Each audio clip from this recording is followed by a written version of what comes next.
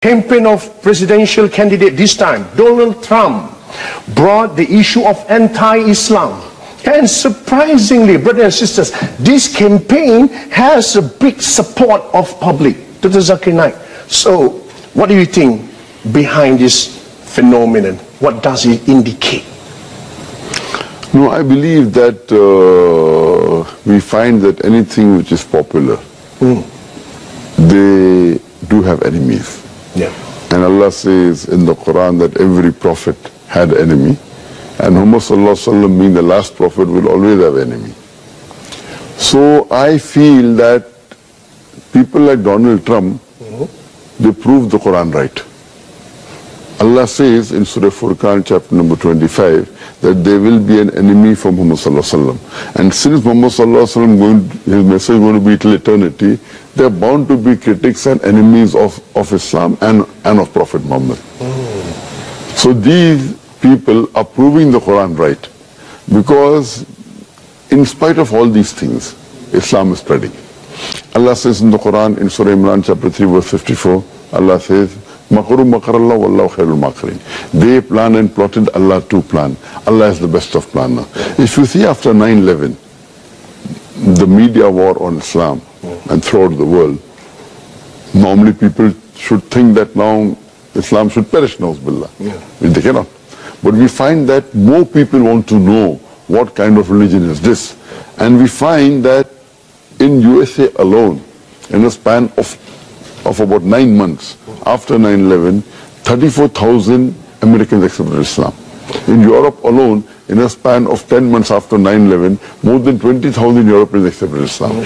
So more they are trying to attack Islam, more Islam is spreading. I believe that such type of people, in the long run, it is benefit for Islam. people want to know what is this religion. Yeah. And whenever people attack Islam, and you find that in the long run, it benefits Islam. Oh. All right. That's fantastic. Now, uh, Dr. Zakir do you agree if I say that now Muslims are caught up with efforts to restore the image due to Islamophobia campaign in the West? So because of this, they forget to promote noble values of Islam.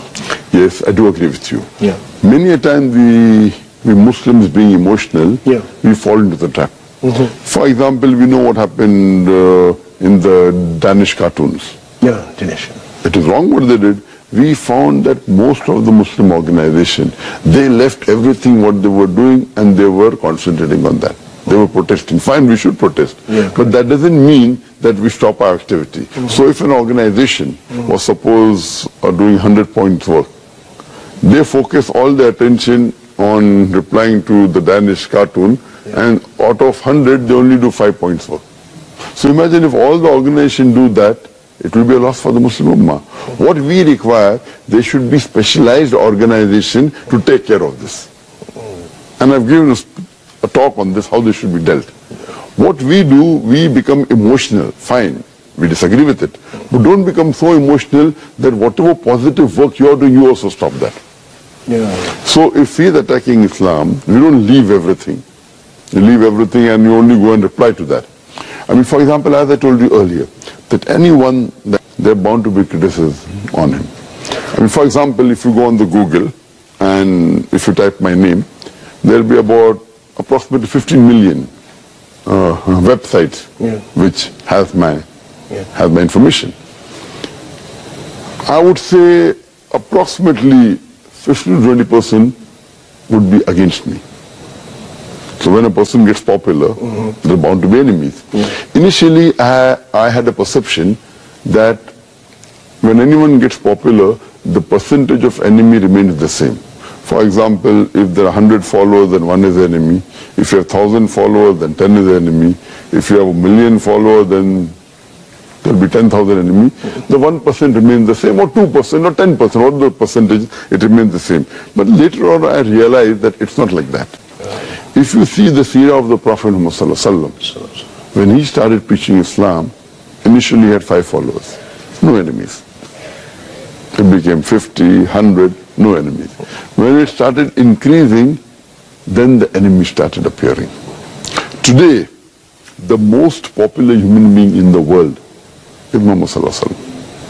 Even according to Michael H. Hart, even according to non-Muslims, the most influential human being in the world is Muhammad Sallallahu Alaihi Wasallam. Today, if we know that there are about 1.8 billion Muslims, mm-hmm. and maybe another 100 more million, maybe non-Muslims who may be like Muhammad Sallallahu Alaihi Wasallam, you can say 2 billion Muslims who, who may be like Muhammad Sallallahu Alaihi Wasallam.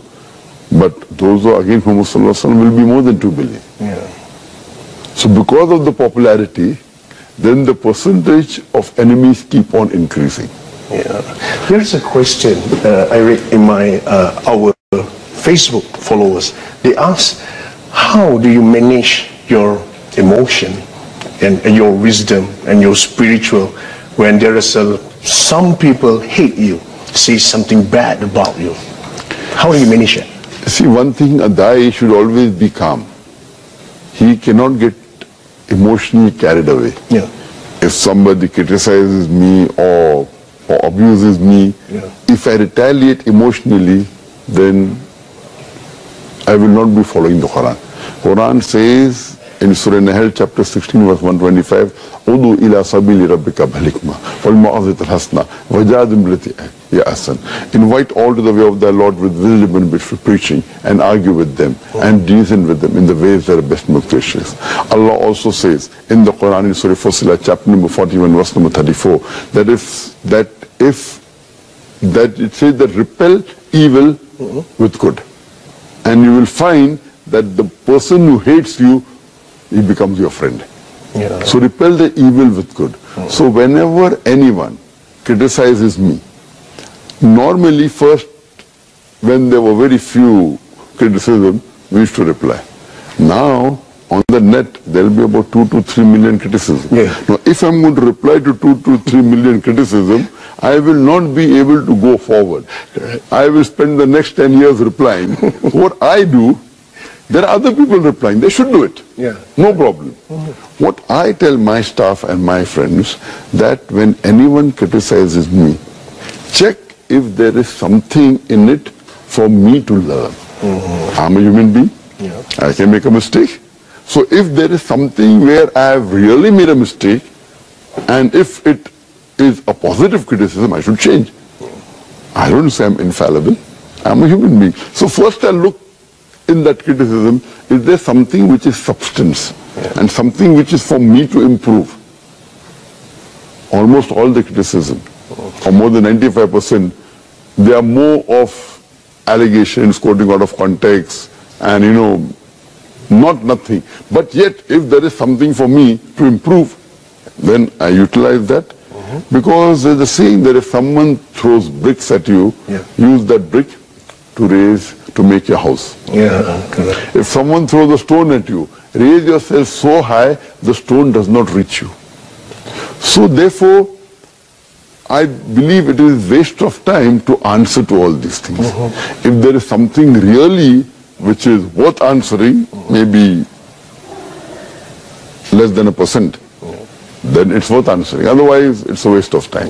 Mr. Zakir Naik, one more question from our follower. They, uh, they want me to ask you about Malaysia. They say that Malaysia has worked hard to promote that Islam is the religion that promote peace and moderation. So, in your opinion, uh, what can be, what is the impact that can be seen from this effort in Malaysia, from your point of view?